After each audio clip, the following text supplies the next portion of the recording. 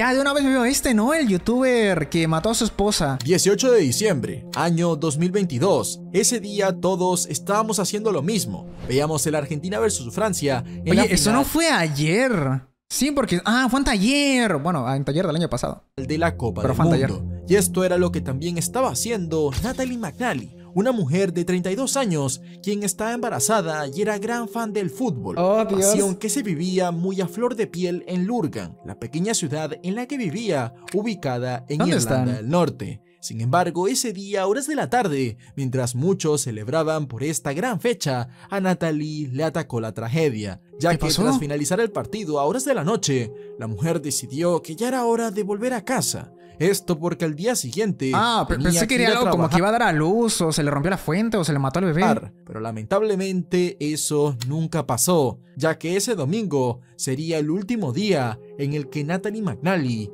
fue vista con vida. Hola, Alexander. Si sabes de casos criminales, conocerás que cuando se rajan a alguien, a la primera persona a la que la policía investiga es a la pareja sentimental de la víctima. Y para ese entonces Natalie tenía un novio llamado Stephen McCullough. Este hombre se veía bastante sospechoso de a primeras, pero la policía no podía arrestarlo, ya que a la supuesta hora en la que, sea quien sea, atacó a Natalie, Stephen, quien era youtuber, estaba haciendo una transmisión en vivo, así que por esa coartada, él no podía ser el culpable. Solo que había un problema, y es que pasaban los días, y entre más veías detenidamente la grabación de ese directo, no, no estaba en directo. de que algo no Era una pregrabación, hermano. Y para saber bien cómo los investigadores determinaron que este O sea, hasta, hasta, no siento que, o sea, a ver, si es un psicópata por matarla, pero hasta no es de tantos así, porque, ¿cómo se llama? Ideó todo un plan, ¿sabes? para tratar de que lo descubrieran. No fue como que la mató y ya está. Los hechos de ese día, primero debemos conocer cómo era el día a día de esta pareja.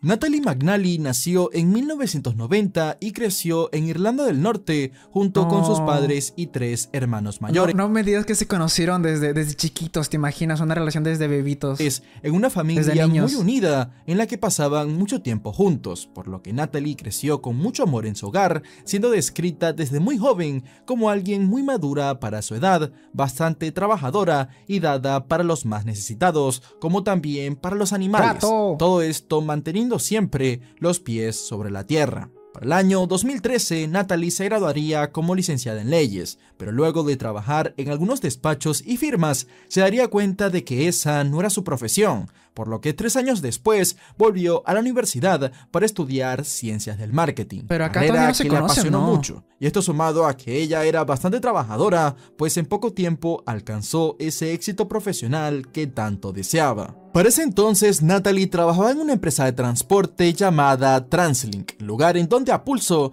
en noviembre de 2021 la ascendieron a coordinadora de la marca, puesto en donde era raro tener a alguien tan joven como ella, puesto a que solo tenía 31 años. Sin embargo, nadie dudaría de su éxito, ya que era muy amable y alegre, aparte de ser muy trabajadora. Pero esa felicidad que le dio ese supuesto éxito profesional no era lo que ella esperaba, por lo que decidió meterse más de lleno en sus pasiones, que eran cuidar animales, armar rompecabezas y ser activista de la comunidad LGBT, como también de los derechos de las mujeres. Pero aún así, teniendo todo esto, ella seguía ansiando algo más en su vida, y eso era una relación pues Natalie era una romántica sin esperanzas. A ella le gustaba el hecho de formar una familia, ya que ella había crecido en una bastante sana. La mujer había tenido relaciones en el pasado, pero su vida ocupada hacía que éstas se terminaran quebrando a pesar de su buena fe. Así que ahora empezaría a anhelar conocer a alguien para pasar el resto de su vida,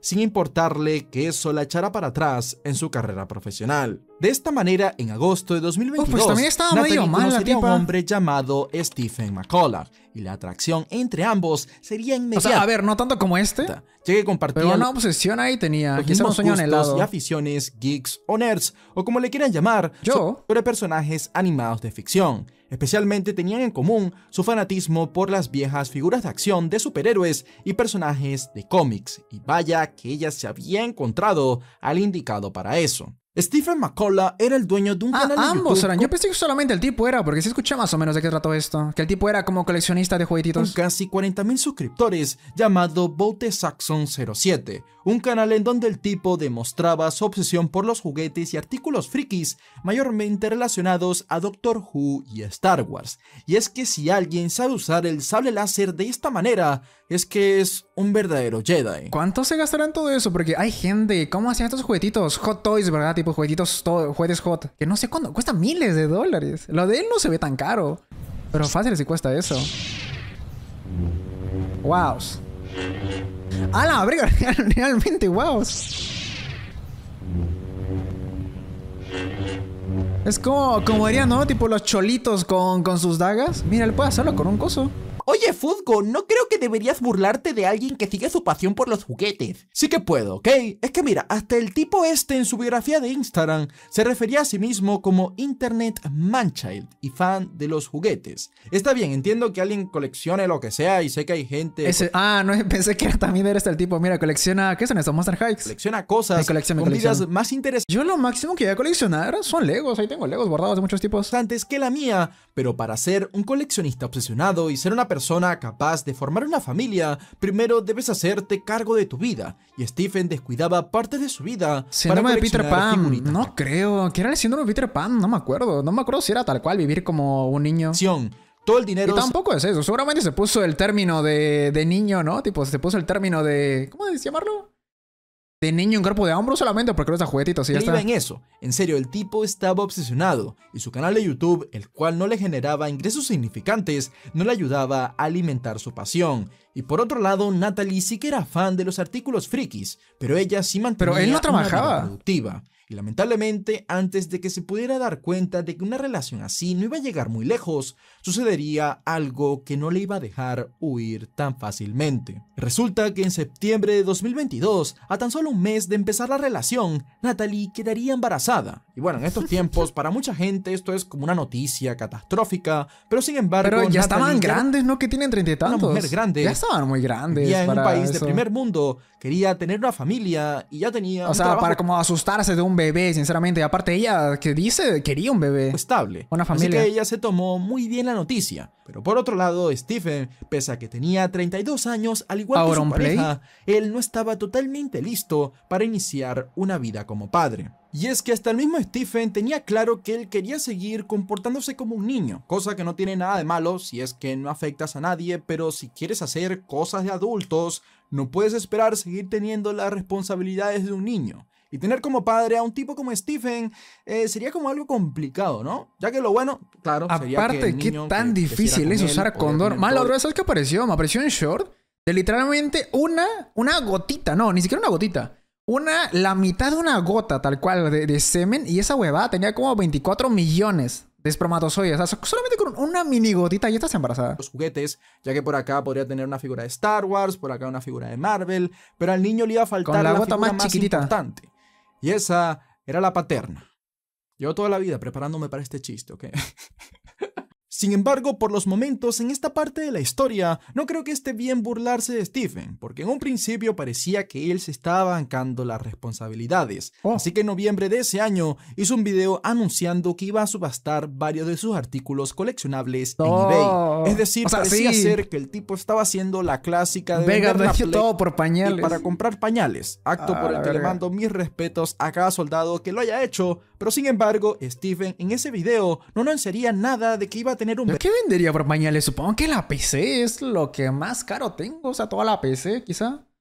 Es más, él dijo que estaba vendiendo esos No, de hecho, vendo el micrófono. Porque el micrófono, curiosamente, vale más que la PC. artículos porque quería centrarse en tener solo una habitación con temática de Doctor Who. Así que para ese entonces se veía que nuestro protagonista había Oh. aceptado la realidad y estaba emocionado con la idea de tener un hijo, ya que en años recientes él venía de perder a sus dos padres e incluso a su mascota de toda la Ah, vida. no tenía nadie. Cosa o sea, que era un hombre solo. un gran vacío y tener un bebé parecía ser como una luz para él después de todo lo malo que había vivido. Pero a pesar de que tenía la pinta de que Stephen iba a empezar a asumir las responsabilidades que conlleva ser un hombre, al parecer el gusanito de la maldad y el egoísmo le susurró Ah, al que que no hiciera eso.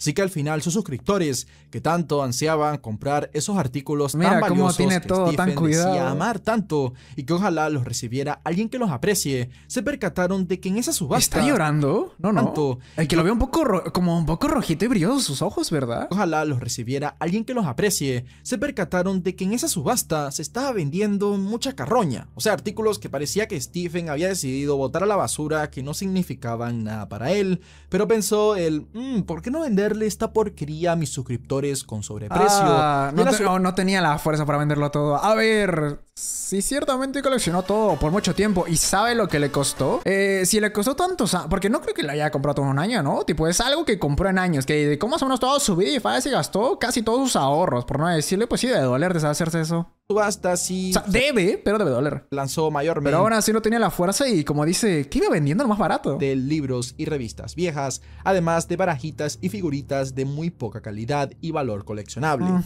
Todo esto se distanciaba mucho de los supuestos Tiene un montón de cosas, man. artículos Tiene valiosos demasiado. Eso está. Tiene, una, ¿Tiene acaso algo de Barbie creo al lado? va a estar en Twitter y en el video que había publicado ahí. pocos días. Seguramente lo que pasó acá fue que Stephen entró en un choque de realidad. Su sueño siempre había sido ser un actor de doblaje, preferiblemente para animar a un personaje en un videojuego o metraje animado. Pero así Oh. como mucha gente que dice tener un sueño, él no le ponía el suficiente esfuerzo para conseguirlo, esperando que algún día le cayera del cielo una oferta para darle vida a un personaje animado. Y como eso no sucedía, por los momentos él tenía que conformarse con un trabajo que no le gustaba, que era el de ser asistente de telégrafo. Y hombre, su vida no iba a estar jodida por tener un hijo, pero ya no iba a poder gozar de tener tantas figuras de acción y tiempo libre para disfrutar de esas cosas. La verdad es que. Kiara en su día en ningún momento mencionó que trabajara aparte de YouTube. Y como cuando mostró su historial, decía como un mes, dos meses, ¿sabes? Tipo, tampoco es que le dedicara tanto tiempo. Día.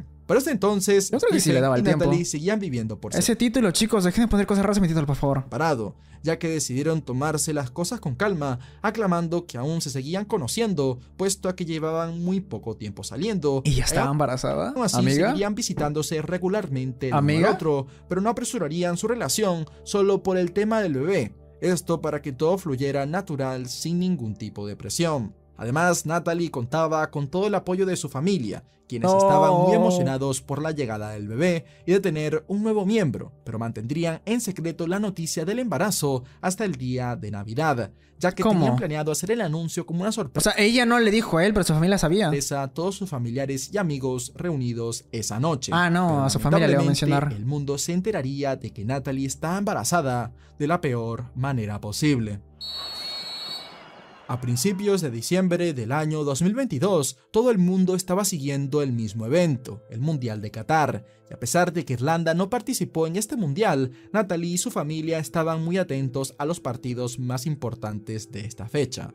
Para este entonces, la relación de Natalie y Stephen parecía ir bastante bien. Estos se veían cada fin de semana y pasaban la noche en casa de cada uno alternándose. De esta manera, El el, tipo, sábado quieras o no, 17 de sí- diciembre sí trataba de 2022, aportar, aunque Natalie se en la casa de Stephen para pasar esa noche juntos. Y a la mañana siguiente, ella se iría hasta su casa temprano porque tenía que atender a sus mascotas y alistar todo lo del trabajo para el lunes, ya que tenía planeado pasar toda la tarde en casa de sus padres para ver el partido final de la Copa de Y Fútbol nunca de ese volvió. A Stephen también le invitaron a ver esta fecha tan importante, ya que Argentina contra Francia era una final de ensueño, pero a él no le gustaba mucho el fútbol y también saldría con la excusa de que ya había programado hacer una transmisión en vivo por su canal de YouTube esa tarde. Esto es Navidad. No, ¿qué dijo? después de que 18, ¿no? Por ahí. partido. Natalie no tuvo problema alguno con esto, Messi. pues respetaba mucho las aficiones de su novio y ella deseaba que él también Chicos, ¿ustedes vieron el, mundial ese?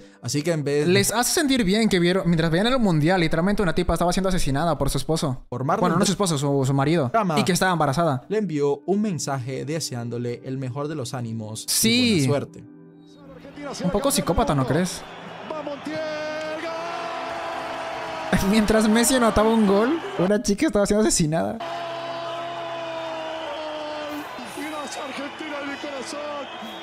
No, me imagino algo súper turbio. Que, que aprovechara el momento de los gritos, ¿no? De la gente, los vecinos, que dijeran así como que lleno celebrando para matarla. A la verga, ¿te imaginas? el partido y pasar una tarde en familia, Natalie, quien vivía sola con sus dos gatos y un perro, decidió que ya era hora de volver a casa porque mañana tenía que salir a trabajar temprano. Y tras esto, ella le mandaría otro mensaje a Stephen diciéndole que ya había salido de casa de sus padres y que cuando regresara iba a poder ver un poco de su transmisión en vivo, cosa que dejaba en evidencia que Natalie claramente no tenía ni la más mínima idea de lo que su novio realmente tenía preparado entre manos. Al día siguiente, Natalie no se presentó a Quiero trabajar. ver ciertamente cuánto tiempo habrá hecho un, un pre-stream, ¿verdad? Porque, a ver, ¿cómo haces un pre-stream? Supongo que, que no, cuando no leas el chat, ¿verdad? Porque de otra manera te descubren o te donen.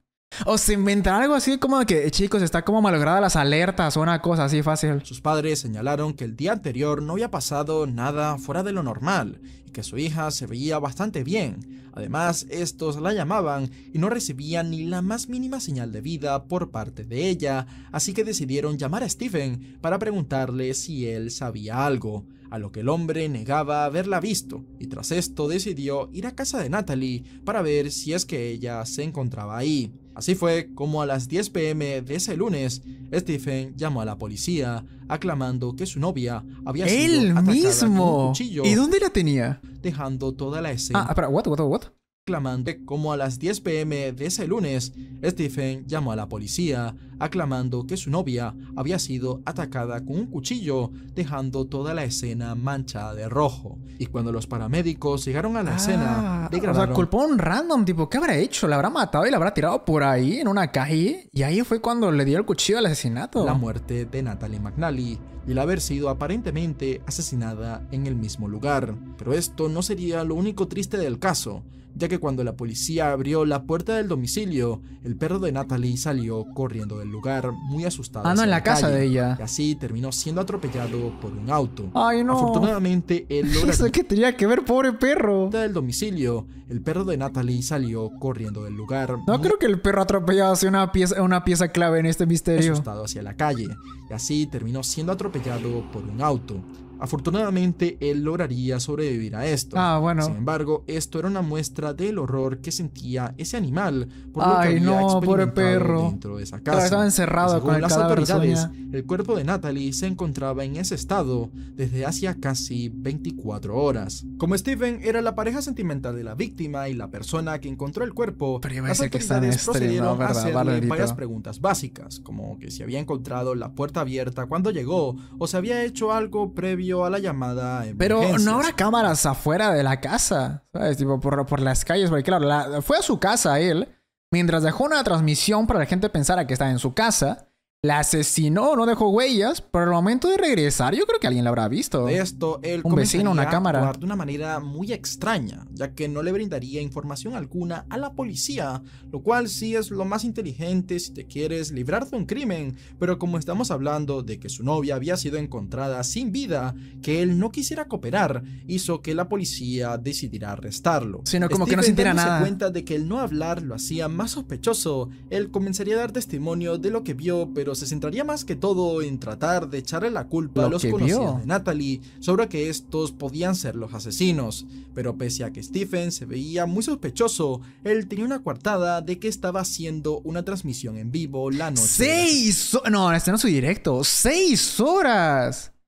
La violenta Navidad en Navidad. Live Gaming Stream. ¡Seis horas! ¿Cuándo GTA? Ok, definitivamente hizo la cosa de que dijo que se, no podía ver el chat porque se malogró las alertas, algo así. asesinato. Y ojo, este directo había durado 6 horas. Y, si Y creen esas 10 horas los pregrabó antes, Dios mío. que Natalie fue atacada justo a la mitad de este. Y como O sea, hasta hizo el tiempo medianamente largo, ¿sabes? Para que le diera tiempo de todo. vivía a 20 minutos de la casa de la víctima, las autoridades lo liberaron porque los tiempos no cuadraban. Ahora la investigación Ah. tenía que hacerse en la escena del crimen, y todo ahí era muy raro, ya que el caso no había sido un robo que se había salido de las manos, ya que todo lo demás en ¿Un la casa pelo quizá de él? intacto. También el arma homicida era un cuchillo que pertenecía a la casa de Natalie, una mujer que aparentemente no tenía enemigos. Los resultados forenses determinaron que la causa de muerte de Natalie fueron múltiples apuñaladas, de las cuales algunas se podían ver como heridas en sus brazos, es decir, Uf. que trató de defenderse. Ah, forcejear. También tenía marcas en el cuello. Ojalá, ¿sabes dónde? ¿Sabes qué sería bien turbio? Que tuviera un montón de cuchilladas en el vientre, ¿sabes? Estaba el en bebé. la cabeza, pero los vecinos aclamaron no escuchar nada raro esa noche. Sí, alguno que otro dijo haber escuchado un grito, pero Oh. a esto no se le prestó mucha atención porque esa noche Porque pensaron, Dios mío, ¿cómo la pensó? que todo el mundo ¿Viste estaba era por y celebrando por el partido de la final del mundo. Además, ni siquiera se escuchó ladrar al perro y las cerraduras de la casa ¿Qué eres? ¿Qué hice? Ni habían sido forzadas, así que el autor sabía Ah, por la cuchara del bebé. No, pues hubiera estado turbio. que iba, y esto se confirmó al ver unas cámaras de seguridad Oh, del vecindario de Natalie. Esa noche a las 8.50 pm se pudo ver a un hombre misterioso encapuchado con una mochila vestido completamente de negro entrar al vecindario caminando tranquilamente directo a la casa de Natalie. ¿Y cómo saben que Cosa es él? que es raro, ya que ese vecindario estaba completamente a oscuras y determinar cuál casa es cuál si era primera vez que llegabas ahí era bastante raro. Y luego, sea que el 40 asesino lo que iba. se le ve a este mismo hombre misterioso irse Oh. usando una ropa más clara y aún con la mochila en la espalda. La policía Ah, para que se dices que las de cámaras la misma no- persona debido a la altura, peso y manera de caminar. Oye, a la entonces- ¿cómo analizan todo eso con estos fuck? debido a la altura, peso y manera de caminar. Peso. Y para ese entonces los forenses ya habían determinado la hora en que la víctima había perdido la vida, diciendo que había sido de eso de las 9 y 10 pm, por lo que ver a este hombre misterioso como el culpable encajaba con los tiempos. Sin embargo, debido a la calidad de las imágenes y por cómo iba vestido el Es que puta, sospechoso, no ves nada aún no se distinguía si realmente se trataba Ahora es de al día siguiente el tipo sale literalmente vestido con, los dos, con las dos ropas, ¿verdad? Es tan estúpido ahí. que le aseguraría a las autoridades que durante esas horas de la noche él estaba en directo. ¿Y cómo que descubrieron que no estaba en directo? En su casa hasta que se quedó dormido. Por otro lado, los investigadores comenzaron a interrogar a los posibles sospechosos del caso, incluyendo los nombres que el mismo Stephen había mencionado. Pero estas personas también serían liberadas tras comprobar que sus coartadas eran ciertas, ya que como casi todos esa tarde estaban viendo Air Fútbol con los panas, era difícil que los tiempos Con de los estos papus. encajaran con los del supuesto asesino. Frente a esto, la policía pidió la colaboración y ayuda de la ciudadanía, publicando las imágenes del hombre con una mochila que fue captado por Ah, que lo viera un, un así, un, li- un limosnero, ¿no? Por ahí, ¿te imaginas? como el posible sospechoso. Además, que se estaba ofreciendo una recompensa a quien tuviera alguna pista o información relevante de esta persona. Todo este caso causó un gran revuelo en la ciudad, ya que Natalie también era activista de los derechos de la mujer, Ah, por lo que mucha gente salió a protestar pidiendo No, justicia, haciendo que el caso sonara en todo el país, cosa que ponía cada vez más ojos sobre Stephen, quien parecía haberse desvanecido por completo, ya que la familia de Natalie trataba de comunicarse con él, pero nadie lograba ubicarlo ni obtener una respuesta suya. Oh, ¿desapareció? Tampoco se le veía activo en su canal, así que se empezó a especular que había huido a la República de Irlanda o una región lejana en el norte. Claro, todo esto dejaba al novio de la víctima con todas las banderas rojas posibles que Más. puede tener un sospechoso, pero lo que echaba el caso para atrás era el bendito directo que se había transmitido a la hora exacta del asesinato. Yo creo que quizá en algún momento analizaron bien el directo y vieron que había como una pausa, ¿no? Como que se trabó algo, como si fuera un video. Así que los investigadores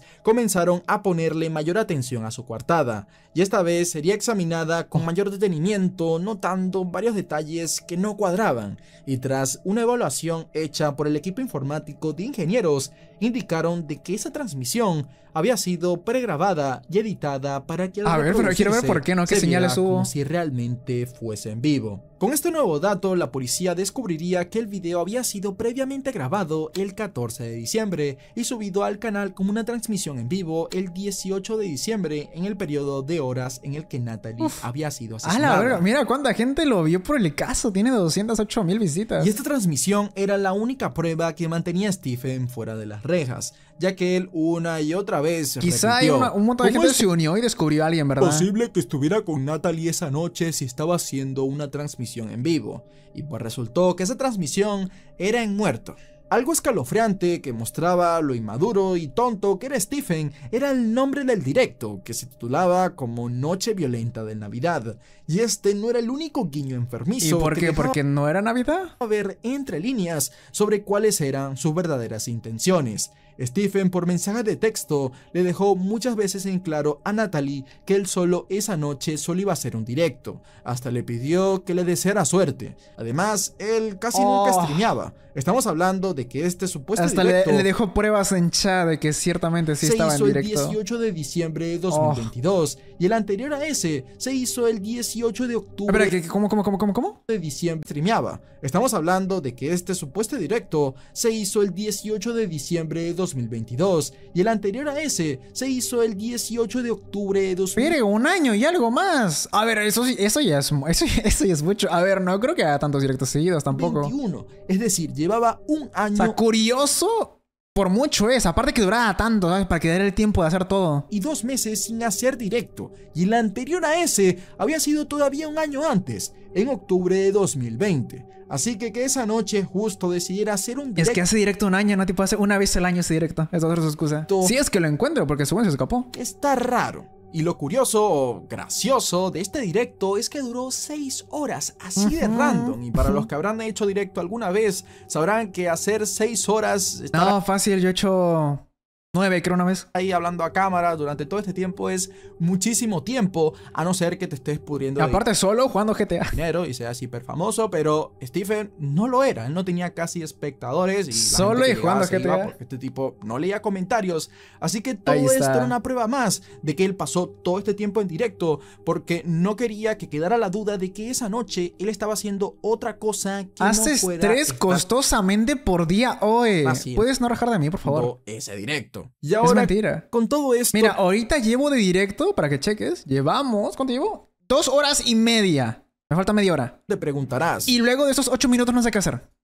Ajá, pero Así que si bueno. el directo de Steven estaba grabado, ¿cómo él interactuó con el chat y las personas que veían su transmisión? Pues la respuesta es que no lo hizo. El muy genio dijo que tenía un problema con el software con el que estaba Pues, haciendo iba a el ser algo directo, así. que no le permitía leer el chat, diciéndole a los espectadores que si querían hablar, que hablaran entre ellos. Y este se había planeado bien la excusa Ustedes literalmente de vez en cuando bajo la mirada del chat y están hablando ahí porque no los leo. excusa, ya que también sabía que le iban a comentar, oye, ¿por qué no lees el chat en tu Yo bendito sí podría asesinar a alguien en esa cuenta. teléfono? Y su excusa para eso era que él era muy profesional y que quería entregar contenido de calidad. No nos pones a... Perdón, voy a tratar de ponerle más atención, voy a tratar. Así es que que- pues a veces me concentro mucho. Si revisaba su teléfono para leer los comentarios, era posible que se distrajera viendo André, el chat, hola. TikToks, cortando No resuelves, no sé qué es resolver, soy hombre. de raíz lo increíblemente divertido que era el directo.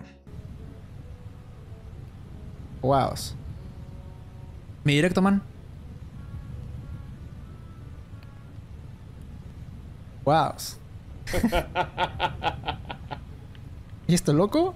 Sí, como ves, Stephen no era el streamer más divertido de la historia. Y otro detalle A perturbador ver, que la verdad se ve como una streamer random, ¿no? Que te vas a categoría tal y hay alguien sin decir nada jugando este Fortnite. directo era que, como ves, Stephen estaba jugando GTA Vice City. Y como este directo lo hacía, imagino, como para quemar tiempo, él no se tomaba las misiones en serio, sino que se dedicaba a decir cosas bien sospechosas. Hubiera la estado vez que como un speedrun, ¿no? a un personaje femenino, que era lo que prácticamente más hizo durante todo el directo, y dijo... Oh, maldito enfermo. Eso es física, eso es lo que sucedería en el mundo real, haciendo mucho énfasis en la violencia y en la sangre que había en el juego. Un juego que Estaba como que voy a ma- matar a mi mujer. Y mientras jugaba, pues era, así como, era como así la voy a matar. Y así, así, a la más de 20 años y que tiene unos gráficos pues bastante dudosos para la época. Y si me pongo a sacarle algo a cada cosa que dijo este tipo durante todo el directo, no termino. Así que se puede sacar que estaba bien violento y hasta en un momento se puso a cantar una canción improvisada que decía debo matar a esa perra y hasta en un momento random empezó a decir que su vida no valía nada y como todo esto sonaba muy sospechoso. Se está luego proyectando, este empezó se a recalcar que proyectando. se refería al juego, ¿no? Sí, claro, al juego y que no y que no hablaba en serio. También aclaración un poco que no tiene sentido, pero para él sí tenía sentido, ya que se estaba dando cuenta de que estaba dejando demasiadas como que proyectando pistas mucho. para el crimen que estaba tratando de ocultar. Y cada vez también que se refería al público se reía como para adentro, como para Así él como mismo. que, hola Esto chat. Estúpidos. Seguramente ya que sabía que él estaba hablando a una grabación y no a un directo, y en todo el streaming no paró de hablar en plural, diciendo cómo han estado o, oh chicos, ¿vieron eso? Pero nunca se refirió a alguien del chat, pese a que unos cuantos le enviaron Y no que no, que podía ver el No era que no podía Ante ver el el chat. descubrimiento André, de- ese título. Dejen de modificar mis que títulos. el directo estaba grabado, la policía localizó y arrestó Por eso nos dices estúpidos. Sí, por eso les llamo estúpidos. O personas, o chicos. Para no mencionar sus nombres. como Porque realmente esto es siempre grabado. Acabo de matar a mi mamá. homicidio para al rato En el juego, en el juego, en el juego. Confiscar todos sus dispositivos electrónicos y así descubrirían que el video pregrabado del directo había sido eliminado a los 5 minutos de haber terminado la En el transmisión. juego. También la reacción, en la reacción. descubrirían que el celular de Stephen había estado apagado esa noche del crimen y que fue encendido nuevamente varias horas después, coincidiendo con el periodo de tiempo en que Natalie había sido atacada. Esto posiblemente porque no quería ser detectado por el GPS. Y otro acto perturbador sería que Stephen se reuniría con la familia de Natalie después del crimen. Pasa Esto con sus fin padres, tipo de que, tranquilos, yo, yo amaba mucho a Natalie. Vamos a descubrir quién fue el asesino. Y, oh. de supuestamente dar sus condolencias para luego en un momento ausentarse, no sin antes dejar su teléfono en la sala Feliz grabando. Navidad, Andrés. Sí, así, próspero año nuevo. Esto Estamos 20. El objetivo aparente de enterarse si es que ellos sospechaban de que él era el culpable. Y seguramente este video lo verán como en marzo del 2024. Como si nada de esto ya fuera suficiente, el mismo Stephen le solicitó a la familia de Natalie pasar tiempo a solas con el cuerpo de la víctima horas antes de su funeral, algo que le permitieron, ya que por ese entonces ellos no sospechaban nada de él. Es más, hasta le brindaron todo su apoyo Feliz por Navidad. la misma Basta. pérdida. Stephen pasó aproximadamente 20 minutos con el cuerpo de Natalie sin interrupción, pues le querían dar su Ah. espacio para despedirse de la mujer que supuestamente ¿Y qué quería habrá hecho la ahí? que sería la ¿Te imaginas si abusó de su cadáver? Se No. desconoce qué estuvo haciendo él No. todo ese tiempo. Y siento que hay cosas que no vale la pena saber. Cuando la familia McNally se enteró de las evidencias que apuntaban a Stephen como el presunto autor del asesinato, no pudieron estar más impactados e indignados, pues se sentían traicionados ante los engaños de Stephen, ya que el día del funeral y en muchas otras ocasiones, él no paró de repetir que en la noche de los hechos estaba haciendo un directo. Para este momento también se mostraría como evidencia la cámara de seguridad de un autobús, en donde ¿Te se pudo ver imaginas? al Hola Steven, ¿cómo estás? Hola, estaba haciendo directo cuando murió mi esposa. yendo en dirección Hola. hacia la zona en donde vivía la víctima. Este llevaba puesto una gran bufanda que le tapaba la cara y unos guantes que en un momento le impidieron poder tomar algunas monedas para pagar su pasaje. Y cuando éstas se le cayeron, el sospechoso se quitó los guantes logrando verse algo que parecían ser guantes quirúrgicos en sus manos. Y estos se parecían mucho a los que se cree que se usaron para manipular el cuerpo de la víctima, que llevaba 15 semanas de embarazo. Sin embargo, hasta ese entonces nadie ¿Qué tenía claro el por qué? Stephen había hecho esto. Y lo más cercano a eso que el equipo de investigación pudo encontrar es que Natalie a semanas escasas de los hechos venía de intercambiar varios mensajes con su exnovio. Hasta la fecha no se ha revelado qué contenían esos ¿Crees textos. que haya sido también por celos? que Un impulso para matarla. Era que habían sido 33 mensajes. ¿Por qué? Espera, ¿por qué quería matarla? No dijo, ¿verdad? O sea, solamente dijo que la iba a matar y ya está. O sea, según yo más o menos al principio cuando medio leí del caso entendí, era porque el tipo no quería al bebé, ¿sabes? Si fuera como que le dolía dejar su vida de niño grande, bueno, niño grande, niño, como se llama el niño adulto, y no quería dejar de vender sus juguetes y y mi idea era, o lo que yo entendí, era para matar a la tipa para que la bebé no naciera y que ya no le dieran molestias. Lo que habían intercambiado O unas quizá fue fuera un cúmulo de cosas. palabras, cosa que hizo que se Acaba de decir que no saben carbón, presta atención. especulara que Stephen había tenido un ataque Chicos, por de me están haciendo sentir mal. e incluso sentimientos de que el bebé no era suyo, haciendo posible de que Ah. él no sintiera empatía para cometer el crimen, ya que quedaba claro que este hombre amaba más a sus figuritas de acción que las dos vidas que arrebató. Además, los investigadores afirmarían que la noche anterior a los hechos, el celular de Natalie había sido desbloqueado en un intento de nueve veces seguidas, haciendo que se sospechara que Stephen tuviera acceso a la información privada que contenían los mensajes. En marzo de 2023 comenzaría el proceso judicial del caso, y el abogado de Stephen argumentó que su cliente había Perdón por generarte inseguridades, escribiría amigo. parado el directo No soy tu amigo. Porque quería pasar esa noche solo trabajando y bebiendo, sin dejar a sus seguidores sin contenido, ya que era Navidad y bueno, pues él era un alma de caridad que le encantaba regalar entretenimiento. Por supuesto, nada de esto tiene sentido, complicando gravemente la situación de Stephen, ya Y que después te quejas. Perdón, perdón. más premeditado está un crimen, más dura es la sentencia. Y no creo que haya nada más premeditado que pregrabar un streaming cuatro días antes para tener una coartada. Todavía no se sabe cuándo se dará la sentencia final de Stephen McCulloch, pero cuando eso suceda, estaré notificando por este canal. Esto es todo, espero que el video te haya gustado y si es así te recomiendo este... Oh, este es el que vimos, ¿verdad? El asesinó a su familia por culpa de su adicción al no por. Eso sí estaba turbio.